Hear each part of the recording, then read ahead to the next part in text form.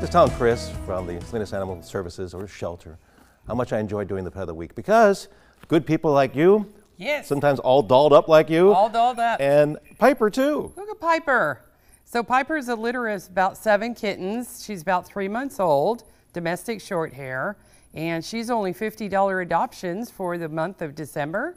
She and all of her little kitty pals. We have kittens, we have adult cats, we have bunnies, and we have all sorts of dogs. We have poodles and pit bulls and Poodles and pit bulls. Sounds like a oh song. my. so the dogs are $75. Now that includes Look at those eyes. having them altered, getting their microchipping, their first set of vaccines, Piper, right and here. their little rabies.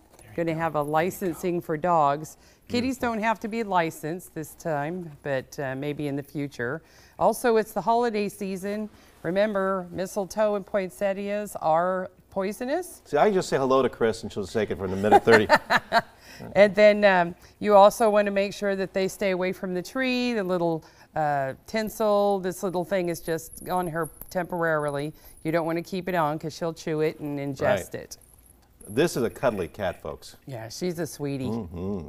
Yeah, take a look right there. Those eyes. Yes. There's some eyes to die She's for. stunning. And may I compliment you on your um, manicure too. They're oh, just thank you very much. kind of a bling thing for, It's uh, a bling for the thing. pet of the week. You betcha. We appreciate it. We get all dolled up. Take a look at this number, and you have a chance to make Piper your own. 831 758 7285. That's 831